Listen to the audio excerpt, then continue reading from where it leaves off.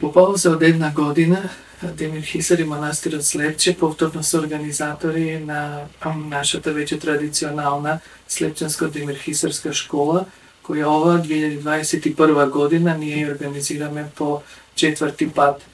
Инаку, како и минатите години, така и оваа година, школата концепцијски е поделена на два дела. Едниот дел е научно-едукативната работилница, односно научен собир, И втората, втората дејност тоа е а, работата на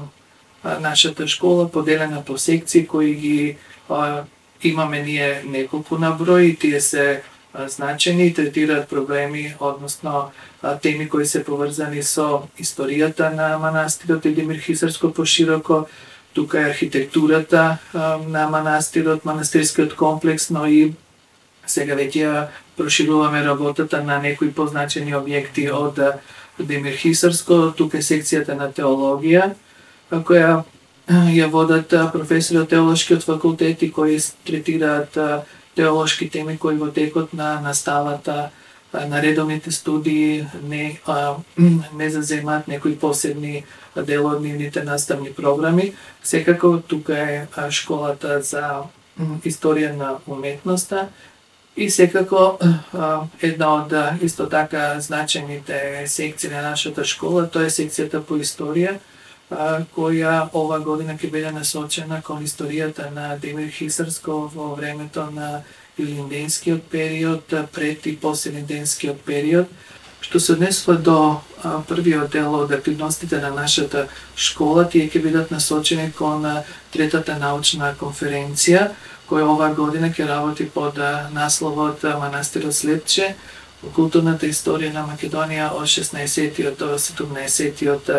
век. Научниот собир е интернационален, бидејќи имаме и учесници од странство. Ова прилика само би го издвоила настапот на професорот Николај Зубов од Универзитетот во Одеса, Украина, кој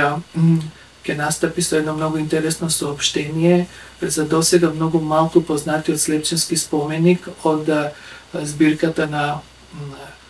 Берковиќ, кој се чува во Одеса од 1544 година.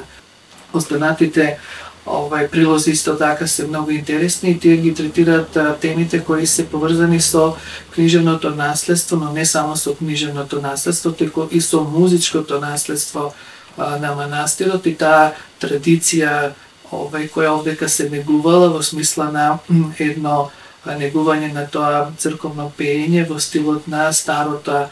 овај охридска традиција. И а, секако за а, дела на некои современи, односно доцни псалти и химнографи кои твореле во манастирот во 18 и 19 век